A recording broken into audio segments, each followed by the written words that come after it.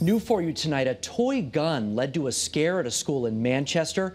We've learned a student shot a classmate with what's known as a splat ball gun. And there is some concern that this may have been inspired by a twisted social media trend. Channel 3 Eyewitness News reporter Christian Colon is live at Illing Middle School with the warning for parents. Christian. Yeah, those students brought the gun into this middle school right behind us, and tonight police were telling us that these types of guns have become very popular on social media, especially on apps like TikTok, so they're urging people to not turn a good time into jail time.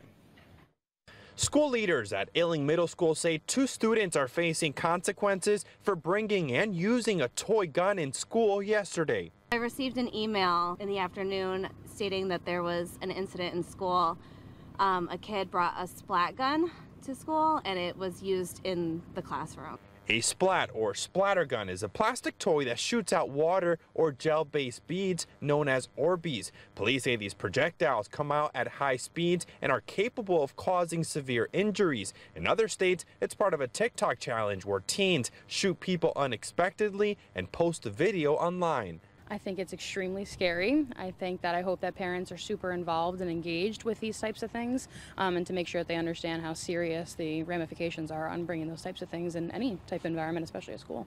We are told a bead hit a student and the incident created a great deal of alarm. Their condition is unknown, but it's not the first time police hear of these guns. Back in September, a group of teens shot over 300 of these beads toward a crowd of thousands in East Haven. These suspects were charged with assault and reckless endangerment, among many other charges. One of the most concerning things is that they clearly do not have the judgment and foresight to see how their behaviors impact not just themselves, but the people around them.